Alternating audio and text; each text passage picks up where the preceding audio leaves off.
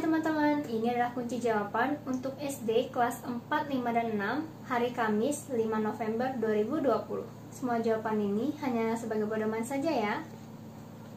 Ini ada dua pertanyaan tentang materi hewan dan bunga langka. Pertanyaan nomor satu, mengapa satwa langka harus kita lindungi? Lalu bagaimana cara terbaik melindungi satwa tersebut dari kepunahan? Jawabannya, karena hewan langka jumlahnya sudah sedikit, sehingga perlu dilestarikan. Jika tidak, hewan tersebut akan punah. Dan juga, flora dan fauna merupakan kekayaan yang tak ternilai harganya.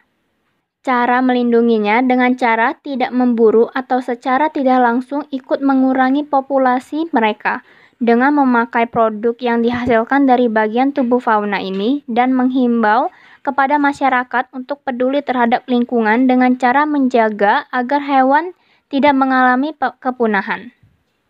Pertanyaan nomor 2, apa saja manfaat keragaman buah langka khas Indonesia bagi kesejahteraan masyarakat? Bagaimana upaya kamu untuk melestarikannya? Jelaskan. Jawabannya, buah bisbul untuk menjaga kesehatan sistem pencernaan melancarkan peredaran darah, dan dapat meningkatkan kesehatan tubuh. Buah ciplukan, buah dan akarnya sering diambil untuk obat-obatan. Buah tarap sebagai sumber energi karena rasanya sangat manis. Buah burahol memiliki aroma wangi yang dapat dijadikan deodoran dan membuat air seni tidak berbau.